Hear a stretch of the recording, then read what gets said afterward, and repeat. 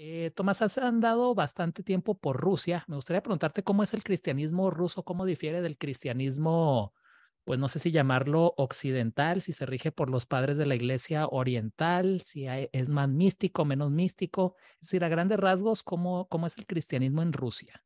Bueno, a grandes rasgos podemos decir que tanto la iglesia ortodoxa como la iglesia católica eh, tenemos el mismo eh, background conciliar, por así decirlo. Hemos dicho sí a los mismos concilios.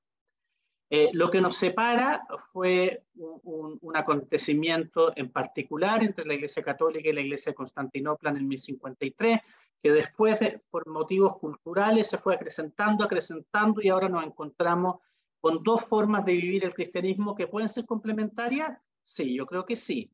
El cristianismo ruso, mi experiencia fue encontrarlo mucho más místico, en el sentido que es platónico. ¿no? E ellos sí que están con toda la cuestión de el, el, rollo de, lo que hablábamos nosotros de, de, los mantras, la oración de Jesús es muy importante, ¿no?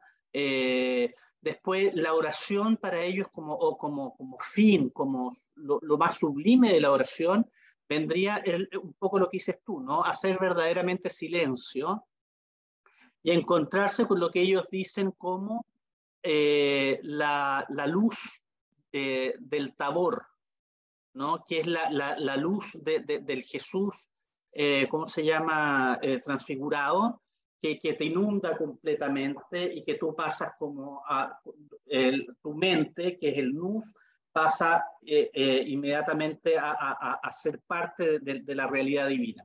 O sea, tienen, tienen un, un, un cuento neoplatónico eh, eh, bastante, bastante fuerte.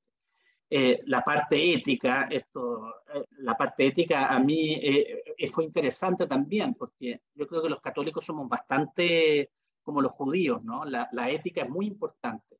Para ellos no, para ellos la, la mística es lo, lo, lo, lo, primero, lo que te define, ¿no? Pero eso fue un poco mi experiencia, fue, fue una experiencia bastante de agridulce.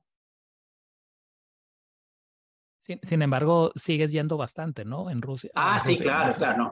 Sí, sí, sí, no, y, con, y tengo muchos amigos rusos y, y, o sea, yo soy editor eh, junto con otro eh, profesor de, de, una serie que publicamos en ruso, ahora estoy publicando un libro en ruso. No, no, no, todo el tiempo en contacto, ¿no? Sí, sí. ¿Y cómo llegaste a Rusia, Tomás? Es decir, ¿cómo te llamó tanto la atención?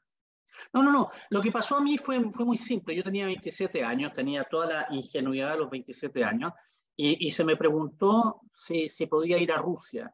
Eso fue el año 97. Estaba recién caída la, la Unión Soviética. Se necesitaban jesuitas eh, que pudiesen aprender el idioma y yo dije que sí. Y partí y me gustó. Eh, hice amistades, estuve en Novosibirsk, que es la, lo que se llama la capital de Siberia, después mucho tiempo en Moscú. Eh, y así. Amo mucho el sur de Rusia, toda la parte del Cáucaso. Soy un enamorado de esa parte. Siempre cuando puedo voy para allá. Y ahora estoy sobre todo ayudando a toda la parte de Asia Central, de Kirguistán, etc. ¿Te gusta el frío? Sí, me gusta. Me gusta el frío. Sí, sí, sí. Ellos tienen una palabra que se llama maros. Entonces te, ellos te dicen, bueno, cuando estás, cuando te topas acá en Europa, ¿no? Te dicen, echas de menos el maros. Y es sí, el maros es ese frío intenso, que no es muy distinto al que uno ve en Milwaukee, en Chicago, lo que Así sea, es. no es lo mismo. En Minnesota. Pero que, pero que tú caminás y, y, y, cruje la nieve debajo y, y se te... No, es, es muy bonito, se me gusta.